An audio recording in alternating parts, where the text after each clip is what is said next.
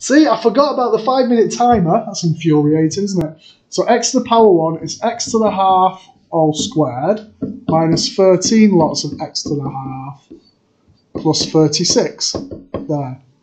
So the power is doubled. The power there is doubled. Look, it's one power 1 of it, of a half, and it's doubled there.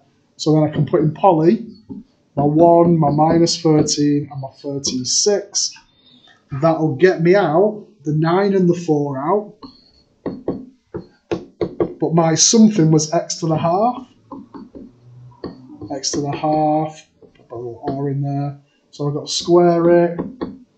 So I've got 81, 16. They're quite messy to get your head around, but once you get your head around them, um, they're, they're a little bit easier to do. So I've got another one on the other next page as well. So I need to keep going, don't I, really, for this one? right.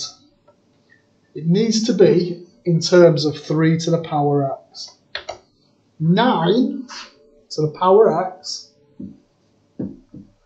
is the same as 3 squared to the power x. These powers can interchange because I want it as 3 to the power x. So that now becomes 3 to the power x all squared. And that's how I want the quadratic term. I've got my something squared.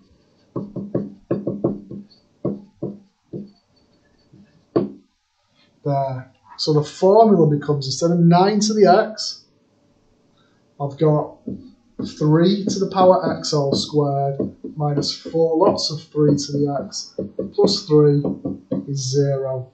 Put it in poly, 1 minus 4, 3. I'm going to ignore this using the substitution bit. Uh, gives me straight out answers of 3 and 1. 1. I've got to remember that it's the something that goes to the front of it. So I've got 3 to the x. Well, if 3 to the x is 3 and 3 is 3 to the power 1, then that must imply then that x is 1. If 3 to the power x is 1, 1 is really 3 to the power 0. So if the powers are the same, x is 0 there. Let's have a look at this one here. And then I'll now do it my way as well. So the 4 to the x is 2 squared to the power x. Switch the powers over 2 to the x all squared.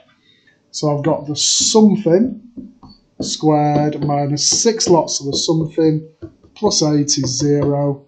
So put it into poly, 1 minus 6 and 8 gives me our answers of 4 and 2.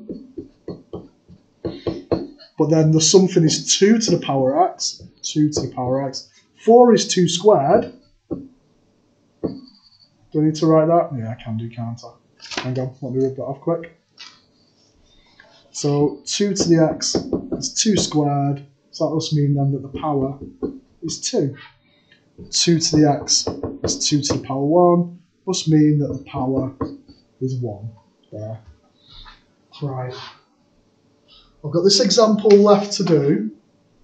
Uh, and then is that the end of the questions? Yeah, it is. So I'm going to change this. I'm going to do uh, a new one for this. This one come off a really hard exam paper. So I'm going to do a new video for this one.